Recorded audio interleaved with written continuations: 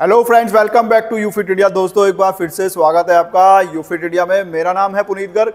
दोस्तों, ले आया हूँ आज आपके लिए एक और सवाल। जी हाँ हमारे व्यूअर ने हमसे पूछा, एक सवाल लेना चाहते हैं दो ट्रेडमिल और कंफ्यूज हो रखे हैं दो ट्रेडमिल के बीच। तो दोस्तों, आज उनकी इस प्रॉब्लम को, उनकी इस उलझन को दूर करेंगे और उन्हें बताएँगे कि वो अपने लिए कौन सा ट्रेडमिल इन दोनों में से ले सकते हैं। तो दोस्तों, ऐसे ही नए नए वीडियोस के लिए अगर अभी तक आपने हमारे चैनल को सब्सक्राइब नहीं किया है तो सब्सक्राइब कर लीजिए।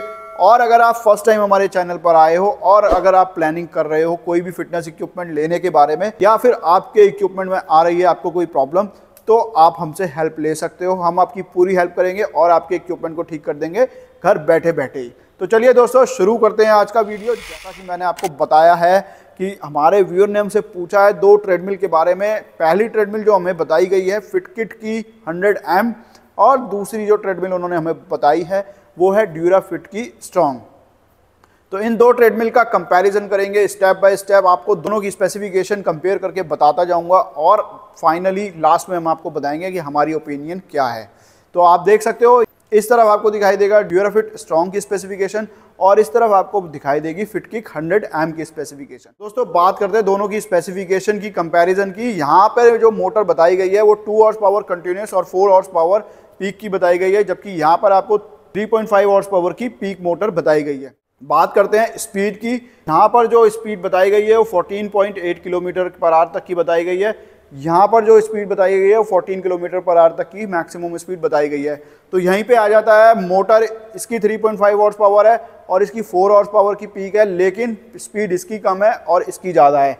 तो आप समझ सकते हैं कि ऐसा पॉसिबल नहीं है। अगर मोटर में फ़र्क होगा तो स्पीड हमेशा उसकी ज़्यादा होगी, जिसकी मोटर हैवी है। इसीलिए आपको बताया कि मोटर में मुझे खास कोई फ़र्क लगता नहीं है। मोस्टली टू हॉर्स पावर की जो भी मशीन्स आती हैं, उनमें सभी में यही स्पीड आपको देखने के लिए मिलती है। बात करते हैं हम दोनों की वेट कैपेसिटी की। तो दोस्तों वेट कैपेसिटी के मामले में ये 110 केजी तक आपको सपोर्ट करती है और ये 120 क्लेम करती है। जबकि साफ़ लिखा गया है कि अगर आप मशीन लेते हैं 120 केजी तक की तो आपको 80 टू 90 केजी वाला पर्सन उसके ऊपर रनिंग कर सकता है। तो इस बात का ध्यान में रखिए। बात करते हैं इसके जो ट्रैक साइज़ है तो दोस्तों इसका जो ट्रैक साइज़ है वो 16 बाय 43 इंचेस का है। वहीं जो फिटकिट की मशीन है, उसका जो ट्रैक साइज़ आपको मिल जाता है साढ़े सोलह बाय फोर्टी सेवन। जी हाँ साढ़े सोलह बाय सैंतालीस इंचज़ का मिल जाता है तो इस मामले में ये मशीन थोड़ी सी मुझे पसंद ज़्यादा आई, क्योंकि इसका ट्रैक साइज़ इससे बड़ा आपको मिल जा रहा है। फोर इंचज़ काफ़ी होता है लेंथ के मामले में। इसके अलावा दोनों में ही मैनुअल इंक्लाइन अवेलेबल है। एक एक्स्ट्रा फीचर यहाँ पे आपको मिल जाता है क्योंकि इसमें 100 के साथ एम लगा हुआ है। एम का मतलब है मल्टी फंक्शनल ट्रेडमिल तो इसके अंदर आपको वाइब्रेटर भी मिल जाता है, जिससे आप अपनी बॉडी की जो मसाज है या आप वाइब्रेशन का यूज़ कर सकते हैं एक्स्ट्रा एक्सरसाइज के लिए। तो ये आपको एक फ़ायदा यहाँ पे मिल जाता है। बात करते हैं अब दोनों की वारंटीज़ की। तो जहाँ आपको फिटकिट में वन ईयर की वारंटी दी जा रही है, वहीं ड्यूराफिट में भी आपको वन ईयर की वारंटी दी जा रही है बट ड्यूराफिट आपको थ्री ईयर की मोटर वारंटी भी प्रोवाइड कर रहा है।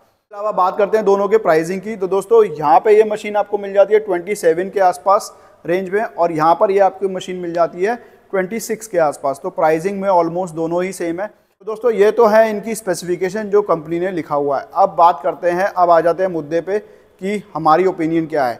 तो मैं अपने व्यूअर से इतना ही कहना चाहूँगा कि अगर आपके घर में सभी का वेट 80 के के अंदर है तो आप इस मशीन के लिए जा सकते हैं। मुझे ये ज़्यादा पसंद आई 100 एम इसकी वजह मैं आपको बता देता हूँ, एक तो इसमें स्पीड 0.8 किलोमीटर पर आर की एक्स्ट्रा मिल रही है। वो आपके लिए इतनी बड़ी बात नहीं हो सकती है कि इससे हमारा क्या फ़ायदा होने वाला है, लेकिन यहाँ पर अगर आपको स्पीड ज़्यादा मिल रही है तो मोटर भी इसी मशीन की हैवी मुझे लग रही है। इसके अलावा दोस्तों ट्रैक साइज़ जो सबसे बड़ी चीज़ होती है ट्रेडमिल लेते समय हमेशा ध्यान रखा जाता है कि ट्रैक साइज़ बड़ा होना चाहिए। तो यहाँ पर आपको 0.5 फाइव का जो विथ है, वो ज़्यादा मिल रही है और साथ ही साथ लेंथ तो आपको चार इंच की फालतू मिल रही है। तो एक ये पॉइंट आ जाता है। और इसके अलावा जो सबसे बड़ी बात है, यहाँ पर आपको वाइब्रेटर भी मिल रहा है। तो ये एक एक्स्ट्रा एक्सरसाइज आपको मिल जा रही है। अगर आप यही वाइब्रेटर कहीं बाहर से खरीदते हैं, सिर्फ़ वाइब्रेटर तो आपको दस से बारह हज़ार रुपये खर्च करने पड़ सकते हैं। तो ये तो थी हमारी ओपिनियन हमारे व्यूअर को। बट ख़त्म करने से पहले मैं एक चीज़ और आपको बता देना चाहता हूँ, जो कि मैं हमेशा अपने व्यूअर्स को बताता हूँ कि मशीन लेने से पहले अगर हो सके तो उसे ट्राई ज़रूर करके देखें। और सबसे पहले आप इस चीज़ की जानकारी ज़रूर ले लें कि जिस एरिया में आप रहते हैं, उस एरिया में जिस कंपनी की आप मशीन ले रहे हैं, उनका सर्विस सेंटर अवेलेबल है या नहीं, या आपको सर्विस कहाँ से मिलने वाली है।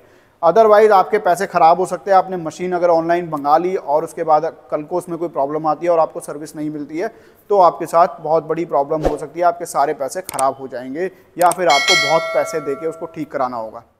तो दोस्तों, मैं उम्मीद करता हूँ आपको ये वीडियो पसंद आएगी और जिन व्यूअर ने हमसे ये सवाल पूछा है उनको भी फैसला लेने में आसानी होगी। तो दोस्तों, ऐसे ही नई नई वीडियोज़ के लिए हमारे साथ बने रहिए। मिलते हैं कल आपसे एक और नई वीडियो में। तब तक के लिए thank you thank you very much